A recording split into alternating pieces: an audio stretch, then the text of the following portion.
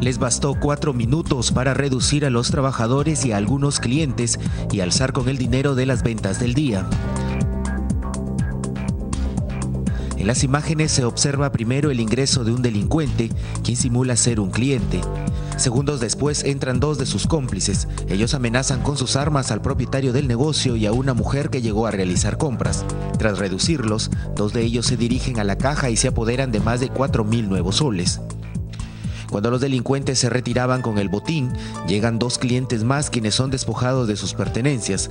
Uno de ellos es golpeado por uno de los zampones.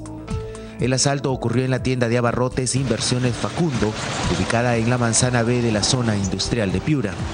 Los dueños del negocio pidieron seguridad en la zona ante la escasa presencia policial. ¿Y por acá hay seguridad en la zona? No, no hay nada.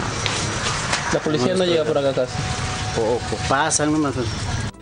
Las imágenes de las cámaras de seguridad ya se encuentran en manos de la policía, que trabaja para identificar a los integrantes de esta banda.